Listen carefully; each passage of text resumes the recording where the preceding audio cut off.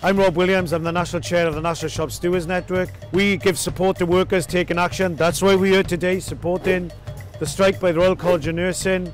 And we're also supporting other workers taking action today as well. So you've asked questions of the Independent. We're going to discuss them today about what's going on with the strike action that's taking place. So the first question is, Paul asks, where do they think the money is going to come from? I think the money's there in society. The problem is, is that so much of our society, the money goes to the super wealthy, the rich and the powerful. It goes to their friends in business. But when the Tory government say there's not a bottomless pit, they found the money during COVID to fund PPE contracts to give that to the private sector. And then they say to these health workers at the bottom of the line, sorry, there's not enough money for you. We don't accept that. This is a very well wealthy economy, something like the fifth or sixth wealthiest economy in the world. The problem is the money's going to the wrong people. I think it should go to the likes of them because these are the people that need it. These are the people who did an incredible service during COVID. These are the people who kept us safe. Wouldn't the strikes be more effective if they were coordinated for greater impact? Of course. If you went across that road there, of course, the majority of people there are nurses on strike for the first time in their history. But dotted around there are Royal Mail workers, RMT members, transport workers, workers from all parts of the economy supporting those workers taking action. All workers are suffering together.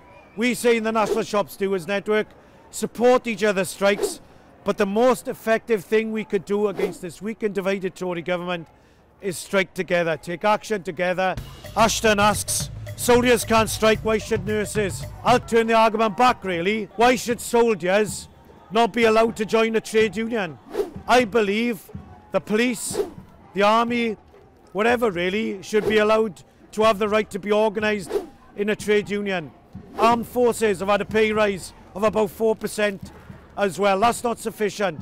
So my view is soldiers should have the right to be organised, the right to be joined a union.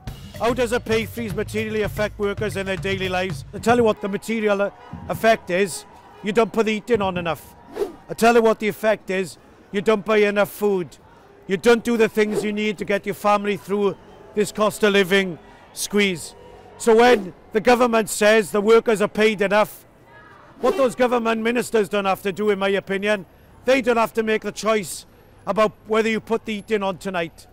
Whether you say to your kids, put extra clothes on you say to pensioners, those who are perhaps the most vulnerable of all, that you have to put an extra coat on during the day and during the night. So having, a, having an income that is sufficient means perhaps some the difference between life or death. That's how serious the issue is. We are looking after our families. For that, we need an income that pays the bills. Well, I'd like to thank you. I'd also like to thank the Independent for the questions, but also the chance to highlight the strike of the nurses across the road there.